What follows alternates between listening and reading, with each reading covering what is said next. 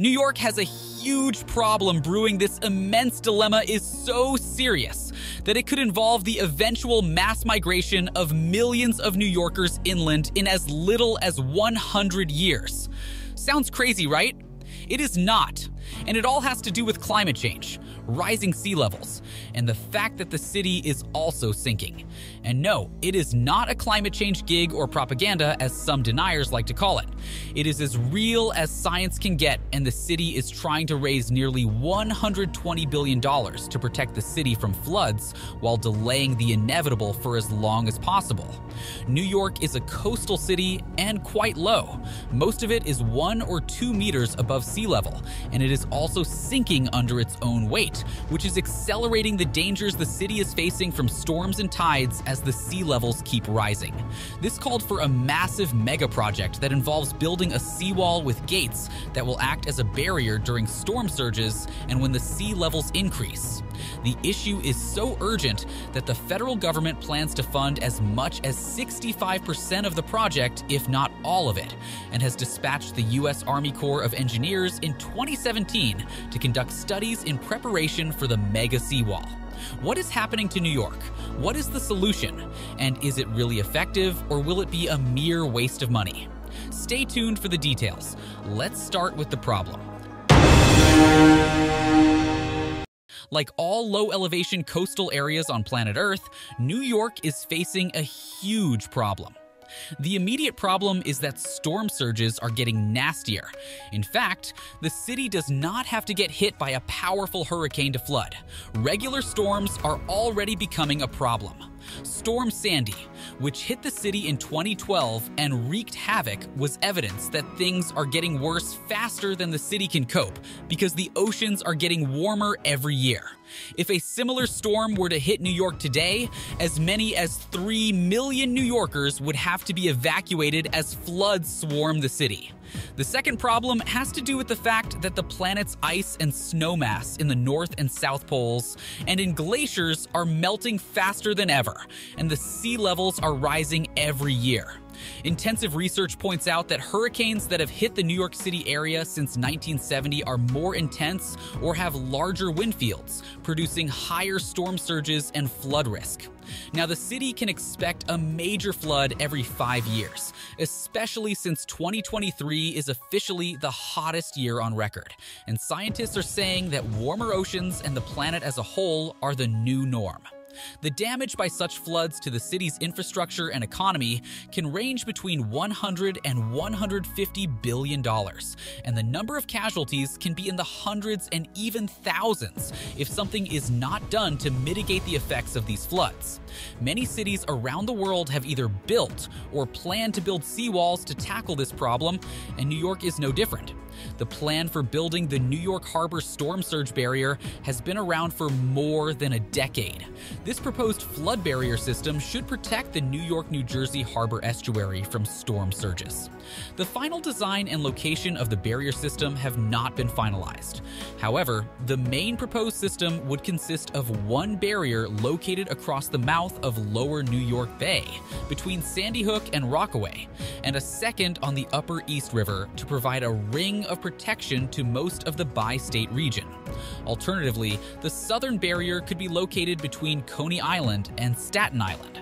A storm surge barrier at this location, although half as long, would require supplemental barriers across the entrances to Jamaica Bay and the Arthur Kill. As for the long term problem of rising sea levels, the system has to be designed in a way that enables engineers to increase its height in the future, as the situation dictates, and also conduct large scale coastline adjustments. Floodwalls, levees, and beach dune building projects might also be necessary in low elevation areas flanking the barrier system, which would act as natural barriers in case the sea levels rise faster than expected. The system would also include large gates in order to maintain water circulation, smooth flow of inner drainage, and the passage of ships, including large cargo ships. The issue of the environmental impact of such a massive barrier system on marine life in the area was and still is the main concern among civic leaders and New Yorkers in general. The problem is that even the best solution cannot guarantee low impact. However, to mitigate the negative effects, it is proposed that the barrier's floodgates would be closed only for a few hours before, during, and immediately after a major storm surge. This would mean that 99% of the time, the floodgates would remain open so as to minimally hinder tides, harbor flushing, river discharge, fish migration, and healthy marine ecosystem functioning. It is important to clarify here that there is a huge and rather heated ongoing debate about the proposed barrier system. Not everyone, including some civic leaders and politicians, believes that oceans are becoming warmer and the sea levels are rising, and thus believes that other less expensive solutions to storm surges as more feasible. However, the current U.S. administration believes that any barrier system to protect New York from storm surges must also double as future protection against rising sea levels. Hence, we believe that the barrier system will be built despite the immense cost.